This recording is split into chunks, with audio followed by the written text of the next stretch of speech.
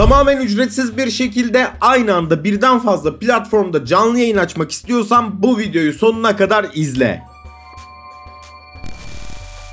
Birçoğumuz canlı yayın yaparken neden birden fazla platformda aynı anda canlı yapmayayım diye bir soru soruyor kendisine. Hem YouTube'da hem Facebook'ta hem de Twitch'te aynı anda canlı yayında olmak bizlere daha fazla kitleye ulaşmaya yardımcı olabilir. Bununla birlikte biraz araştırmaya girdiğimizde aracı sunucular var ve bunları kiralayarak belli bir ücret karşılığında aynı anda yayınınızı diğer platformlara da yayabiliyorsunuz. Fakat bununla birlikte biraz araştırma yaptım ve araştırmalarım sonucunda tamamen ücretsiz bir şekilde minik bir OBS plugin ile yayınımızı istediğimiz kadar platforma yayabiliyoruz. Gelin şimdi sizlerle birlikte bu pluginin detaylarına bakalım. Detaylarına bakmaya Videoya geçmeden önce bu tarz içeriklerin devamının gelmesini istiyorsanız eğer kanala abone olmayı, videoyu beğenmeyi ve aşağıya minik bir yorum bırakmayı lütfen unutmayınız. Öncelikle görmüş olduğumuz siteden pluginimizin installer'ını indiriyoruz. Hemen aşağı doğru indiğinizde gördüğünüz gibi burada Windows x64 installer exe dosyası var. Bunu download ediyoruz. Bu arada ben bu plugin'in linkini de açıklamalar kısmında sizlere iliştiriyorum. Oradan ulaşabilirsiniz. Gördüğünüz gibi indirme tamamlandı. Burada yapmam gereken şey exe dosyasını çalıştırıp plugin'in kurulumunu tamamlamak. Install diyorum ve close diyorum. Gördüğünüz gibi bu kadar basit. Çok kısa bir sürede plugin'imizi kurabiliyoruz. Bu sayfayı kapatıyorum. Gelin şimdi sizlerle birlikte OBS'imizi açalım. OBS'imiz geldiğinde gördüğünüz gibi otomatik olarak burada çoklu çıkış diye bir bölüm geldi. Bunu kapatalım. Siz de gelmezse eğer bunun kontrolünü yapabileceğiniz yer paneller bölümüne geliyorsunuz ve aşağıya indiğinizde çoklu çıkışa tıkladığınızda gördüğünüz gibi bu panel geliyor. Ben bu paneli şuraya sabitlemek istiyorum. Şöyle biraz burayı da genişletelim. Ve pluginimiz hazır. Şimdi bu pluginimize diğer platformları nasıl ekleyeceğiz buna bakacağız. Biraz şundan bahsetmek istiyorum. Örnek veriyorum sizin upload hızınız 20 megabit. Eğer online oyunlar oynuyorsanız 4 megabitlikte bir boşluk bırakmanız gerekiyor ki oyunlarınızda herhangi bir ping yükselmesi vesaire olmasın. Bunun sonucunda elimizde ne kalıyor? 16 megabitlik bir upload'umuz boşta kalıyor. Burada her platform için siz normal ana yayınınıza 6000 bitrate çıkıyorsanız İkincisinde ve üçüncüsünde de 6 6 olarak eklemeniz gerekiyor. Hem YouTube'da hem de Twitch'te yayın yaptığınızı varsayarsak 6000 bitrate Twitch için kullanıyor. 6000 bitrate de YouTube canlı yayınınız için kullanıyor. Yani sizin cross platformda ikili yayın çıktığınızda 12 megabitlik bir upload tüketmiş oluyoruz. Yani buna göre planlamanızı yaparsanız çok daha sağlıklı olur. Şimdi gelin sizlerle birlikte bunların kurulumunu yapalım. Öncelikle yaptığımız ana platformu ayarlar bölümünden yayın bölümüne girip hesap bağlayarak çözüyoruz. Ben buradan hemen hesap bağla diyorum. Twitch'imi main yapmak istiyorum. Bunun için de benim bir tane hangi bot diye bir hesabım var. Onu kullanacağım.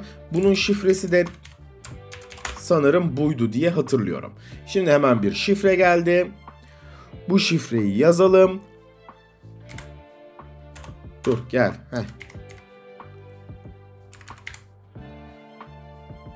Doğrulama kodunu girdikten sonra gördüğünüz gibi Twitch hesabım buraya bağlandı. Benim artık Twitch ile bir işim kalmadı. Sadece yayın ayarlarımı yapmam gerekiyor. Onu da bir kontrol ettiğimde H264 ile yayın yapacağım. Buradan ben ortalama 5000 bitrate vermek istiyorum. Anahtar karemi 2 yapıyorum. Bunu böyle iyi kalite olsun. Yüksek kalite iki seferde tam çözünürlük ileri bakmayı işaretliyorum. B karelerini de 4'e çıkartıyorum uygula tamam dediğimde Twitch hesabımı bağlamış oluyorum. Yani Twitch ile alakalı herhangi bir problemim kalmadı. Şimdi ben buraya yeni hedef ekle diyorum. Yeni hedef ekle dediğimde buradan hemen YouTube olarak not alıyorum. RTMP server ve RTMP anahtarını girmem gerekiyor. Bunun için ne yapıyorum? Öncelikle oluşturduğum canlı yayın kısmına geliyorum. Buradan yayın URL'sini kopyala diyorum ve bunu RTMP serverına yapıştırıyorum. Sonrasında geliyorum yayın anahtarını kopyalıyorum ve bunu da yayın anahtarı RTMP yayın anahtarı bölümüne yapıştırıyorum.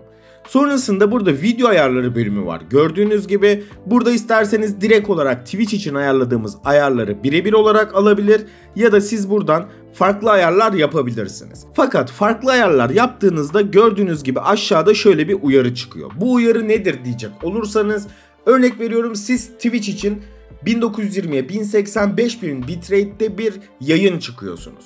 Fakat YouTube'a diyorsun ki ben YouTube yayınımı 2000 bitrate çıkmak istiyorum dediğiniz zaman canlı yayınınızı bilgisayarınız iki kere kodlamaya başlıyor.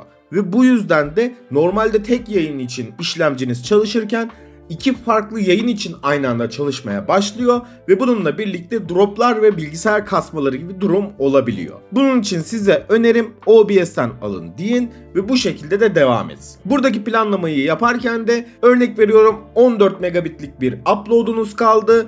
4, 8, 12. Yani 4'er 4000 bitrate, 4000 bitrate, 4000 bitrate olarak 3 ayrı platformda canlı yayın yapabilirsiniz demek oluyor. Buraya tamam diyorum ve gördüğünüz gibi buraya YouTube bölümü eklendi. Yeni hedef ekle. Buna da Facebook diyorum. RTMP server ve RTMP anahtarı soruyor bize. Geliyorum hemen buradan. Sunucu URL'sini alıyorum. Buraya yapıştırıyorum. Geliyorum buradan da yayın anahtarımı alıyorum. Onu da buraya yapıştırıyorum ve OBS'ten alın olarak bırakıyorum ve tamam diyorum.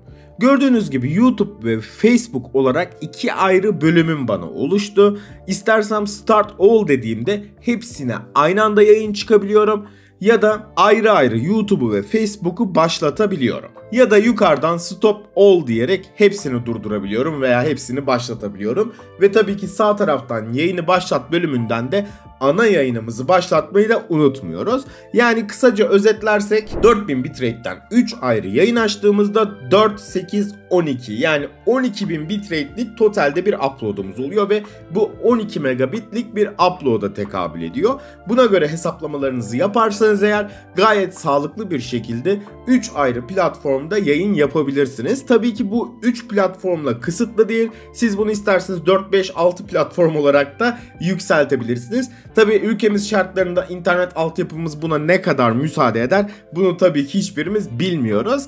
Videoyu sonuna kadar izlediğiniz için çok teşekkür ederim. Bir sonraki videoda görüşmek dileğiyle bu tarz içeriklerin devamının gelmesini istiyorsanız eğer kanala abone olmayı, videoyu beğenmeyi ve aşağıya minik bir yorum bırakmayı lütfen unutmayınız. Hoşçakalın.